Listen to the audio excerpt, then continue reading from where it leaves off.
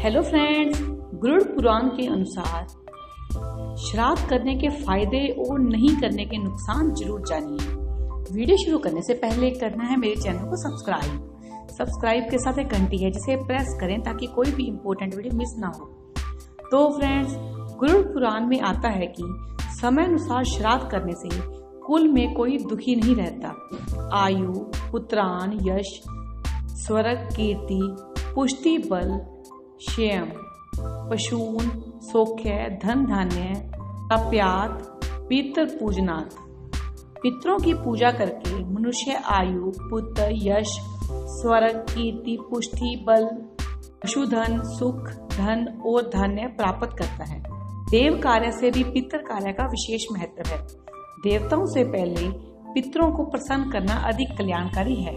जो लोग श्राद्ध नहीं करते उनके पितर असंतुष्ट रहते हैं तथा उनके घर में सुख, शांति व समृद्धि की कमी आती है। बीमारियाँ यह सब होता है। इसलिए अच्छी संतान व स्वास्थ्य के लिए भी पितर श्राद्ध करना चाहिए। जो श्राद्ध करता है और दूसरों की भलाई करता है।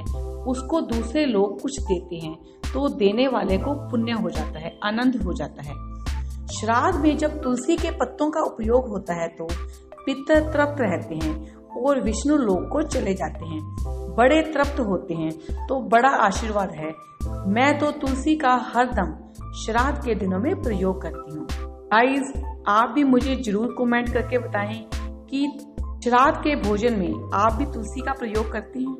फ्रेंड्स ये थे श्राद्ध करने के फ़ायदे और नहीं करने के नुकसान।